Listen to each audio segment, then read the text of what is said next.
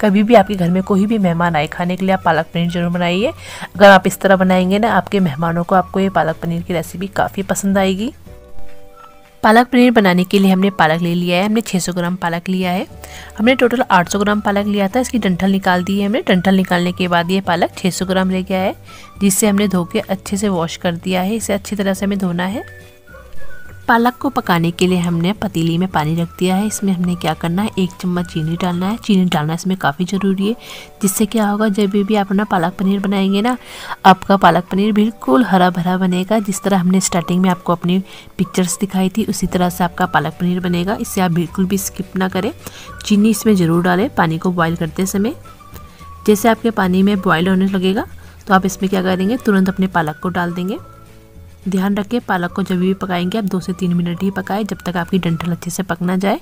इसमें ढक्कन बिल्कुल भी नहीं लगाना, बस थोड़ा हिलाते हिलाते आप इसे पका लेंगे। इसे चलाते रहना है ऐसे कंटिन्यू तब इसे पका देंगे। जैसे आपका बॉयल होने लगेगा पानी तो तुरंत गैस बंद कर देंगे।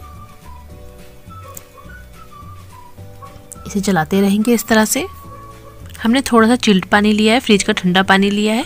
लेना काफ़ी ज़रूरी है। आगे हम आपको बताएँगे, हमने चिल्ड पानी क्यों लिया है। इसमें हल्का हल्का उबाल आने लगा है। उबाल आते ही हम गैस को बंद कर देंगे। पालक पनीर बनाने की विधि आप एंड तक ज़रूर देखना। इसमें हमने आपके लिए स्टेप बाय स्टेप इसकी ट्रिक्स बताई है पालक पनीर बनाने की। देखिए, इसमें अच्छा उबाला गया है। हमने इसे तुरंत निकाल दिया है। दो से तीन मिनट बाद, तीन मिनट बाद इसे हम बिल्कुल चिल्ड पानी में डाल देंगे।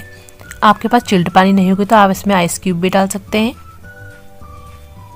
इसे हम इसमें डाल देंगे और इसे डालने के बाद हम इसे तुरंत निकाल देंगे।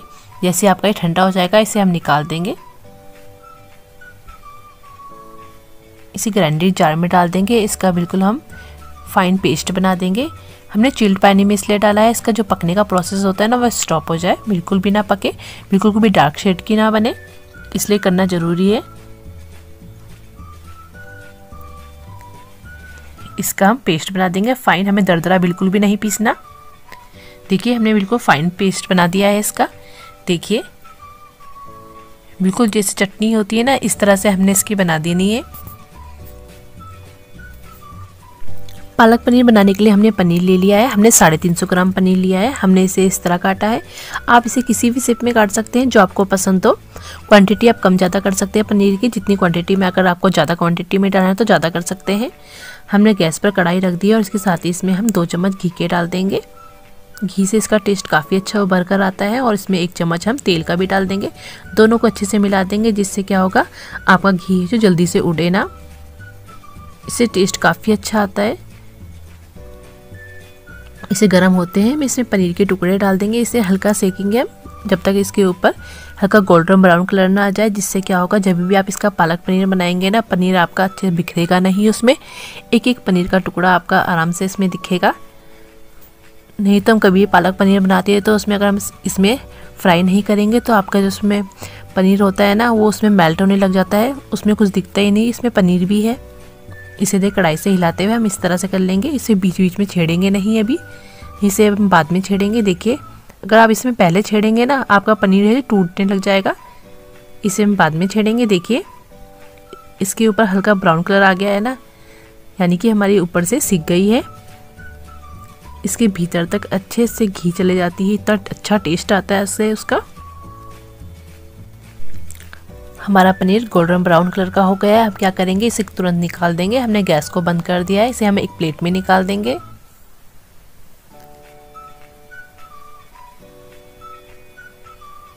काफ़ी अच्छी खुशबू आ रही है इसमें।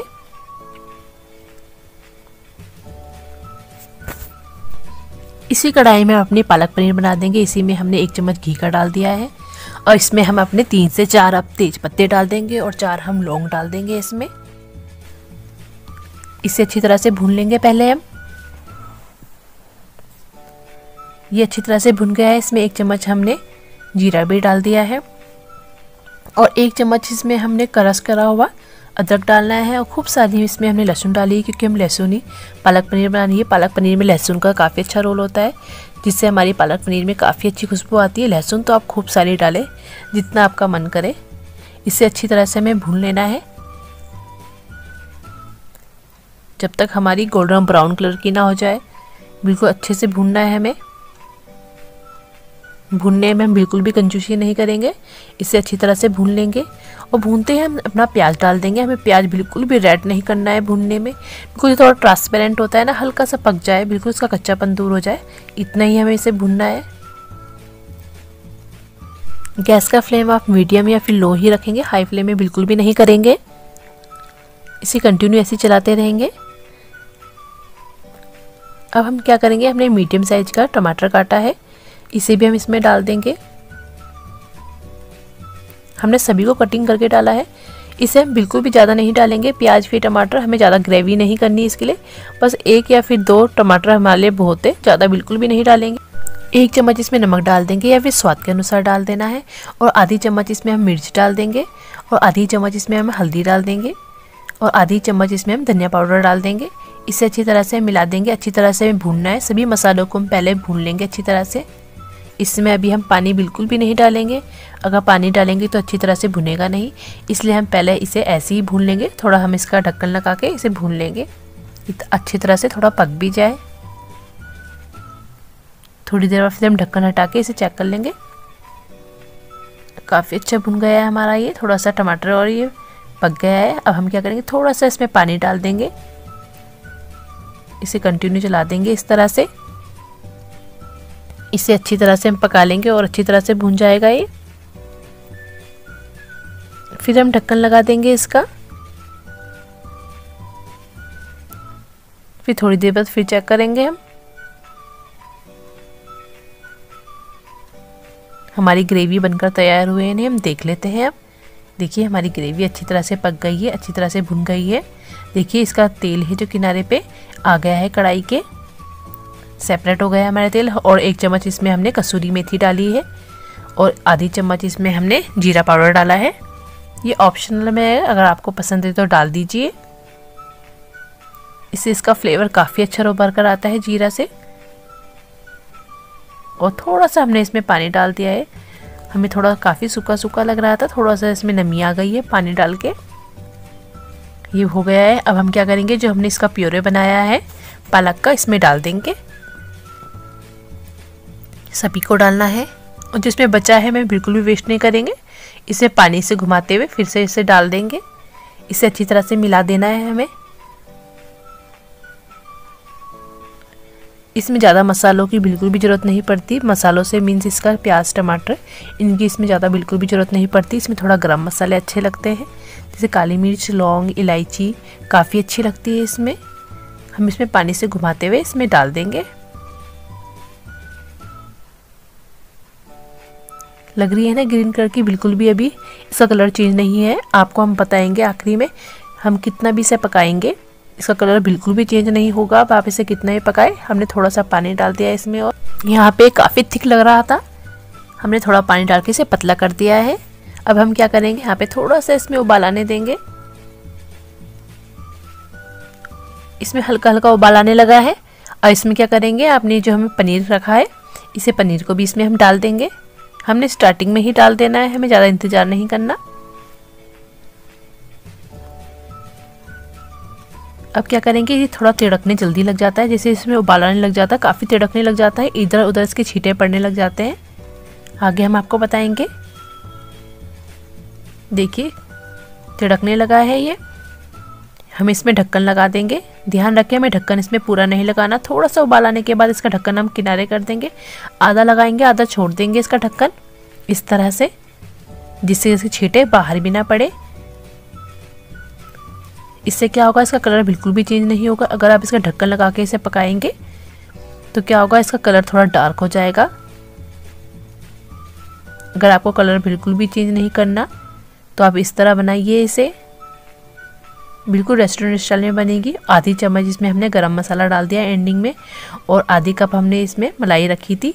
मगर इसमें हमने दो ही चम्मच मलाई डालनी है अपनी, जो हमने अच्छे से फेंट के रखी थी, जिससे इसका टेस्ट बिल्कुल क्रीमी फॉर्म में आएगा। बिल्कुल टेस्टर बिल्कुल जैसे क्रीमी होता है ना, उस तरह से इसका आपका पालक पनीर बनेगा। देखने में आपको लग ही रहा होगा कितना क्रीमी सा हमारा पालक पनीर बना है। बस ध्यान रखें, इसका ढक्कन पूरा नहीं लगाना है हमें, आधा ही ढक्कन लगाना है।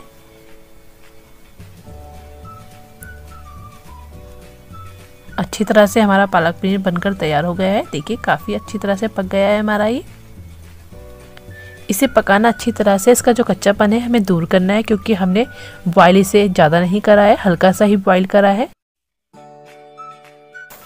आप चाहे तो इसमें धनिया भी डाल सकते थे, जिस समय आपने पालक पीसा था ना मिक्सर में, उसी समय आप धनिया की कुछ स्लीव्स इसमें डाल के पीस सकते थे। उससे भी इसका टेस्ट और फ्लेवर काफ़ी अच्छा उभर कर आता है। और जो हमने थोड़ा सा पनीर बचाया था ना, हमने आपको स्टार्टिंग में बताया था, बस यहाँ पे हम इसी का काम करेंगे। जैसे रेस्टोरेंट में होता है ना, उस तरह से ऊपर से गार्निश करने के लिए इसमें थोड़ा सा हमने पनीर डाल दिया है क्रश कर कर। इस तरह से देखने में काफ़ी सुंदर लगता है। लग रहा है मज़ेदार? बस एंडिंग में इसका हम तड़का लगा देते हैं, ज़बरदस्त। तड़के से इसका टेस्ट काफ़ी अच्छा उभर कर आता है। इसका टेस्ट बिल्कुल दुगना हो जाएगा। हमने इसमें दो चम्मच बटर के डाल दिए हैं। बटर से इसका टेस्ट काफ़ी अच्छा आता है। अगर आपके पास बटर नहीं आप घी या तेल कुछ भी डाल सकते हैं। मगर आपके पास बटर है तो बटर ज़रूर डालिए। बटर से इसका टेस्ट काफ़ी अच्छा उभर कर आएगा। आप खुद अजमा के देख लेना। और आधी चम्मच इसमें हमने जीरा डाल दिया है और कुछ लहसन की कलियाँ डाल दी है। लहसन से इसका टेस्ट काफ़ी अच्छा आता है। लहसुन को अच्छी तरह से हम गोल्डन ब्राउन कर देंगे। और गैस को हमने बंद कर देना है। तड़का हमें बिल्कुल भी नहीं चलाना है। और आधी चम्मच इसमें हमने कश्मीरी लाल मिर्च डाल देनी है। आप चाहे तो इसमें साबुत लाल मिर्च भी डाल सकते हैं। उससे भी इसका टेस्ट काफ़ी अच्छा आता है। और वन पिंच आप इसमें हिंग भी डाल सकते हैं। अगर आपको हिंग नहीं पसंद तो आप मत डालिए। हमने नहीं डाली है इसमें। बस हमारा तड़का तैयार है। ऐसे हम तुरंत डाल देंगे गर्मा गर्म पालक पनीर में। और आधी चम्मच इसमें हम बटर डाल देंगे। बटर से इसका टेस्ट काफ़ी अच्छा आएगा, काफ़ी अच्छा फ्लेवर खुशबू आएगी इसकी। देखिए, हमारा कितना मज़ेदार पालक पनीर बनकर तैयार हो गया है। लग रहा है ना रेस्टोरेंट स्टाइल में? कोई कह नहीं सकता हमने इसे घर में ही बनाया है। हम तो इसे रोटी के साथ खाने वाले हैं। अगर आपको चावल के साथ खाना है तो इतना थिक मत बनाइए, थोड़ा सा पतला कर सकते हैं, पानी डालकर। देखिए। तो आप कब आ रहे हैं हमारे घर खाने, पालक पनीर। आप इसे ज़रूर ट्राई करना अपने घर में। यकीन मानिए आपको ये रेसिपी हमारी काफ़ी पसंद आएगी। बस स्टेप बाय स्टेप आपने इन्हें फॉलो करना है। जो हमने इसकी ट्रिक्स बताई है आपको खास पालक पनीर बनाने की। कभी भी आपके घर में कोई भी मेहमान आए, खाने के लिए आप पालक पनीर ज़रूर बनाइए। अगर आप इस तरह बनाएँगे ना, आपके मेहमानों को आपको ये पालक पनीर की रेसिपी काफ़ी पसंद आएगी। और हमें कमेंट करके ज़रूर बताना, आपको हमारी पालक पनीर बनाने की ट्रिक किस तरह लगी है। अगर आप हमारे चैनल में नए हैं तो हमारे चैनल को सब्सक्राइब ज़रूर करें और बेल का आइकन ज़रूर प्रेस कर देना। जब भी हम नई वीडियो डालेंगे तो तुरंत आपके पास नोटिफिकेशन पहुँच जाएगा। और हमारे चैनल को लाइक शेयर ज़रूर करें। आगे हम आपको ऐसी नई रेसिपीज़ के साथ और नई ट्रिक्स के साथ फिर मिलेंगे। तब तक के लिए thanks for watching bye bye palak paneer बनाने की। कभी भी आपके घर में कोई भी मेहमान आए खाने के लिए आप पालक पनीर ज़रूर बनाइए। अगर आप इस तरह बनाएँगे ना, आपके मेहमानों को आपको ये पालक पनीर की रेसिपी काफ़ी पसंद आएगी। और हमें कमेंट करके ज़रूर बताना आपको हमारी पालक पनीर बनाने की ट्रिक किस तरह लगी है। अगर आप हमारे चैनल में नए हैं तो हमारे चैनल को सब्सक्राइब ज़रूर करें और बेल का आइकन ज़रूर प्रेस कर देना। जब भी हम नई वीडियो डालेंगे तो तुरंत आपके पास नोटिफिकेशन पहुँच जाएगा। और हमारे चैनल को लाइक शेयर ज़रूर करें। आगे हम आपको ऐसी नई रेसिपीज़ के साथ और नई ट्रिक्स के साथ फिर मिलेंगे। तब तक के लिए थैंक्स फॉर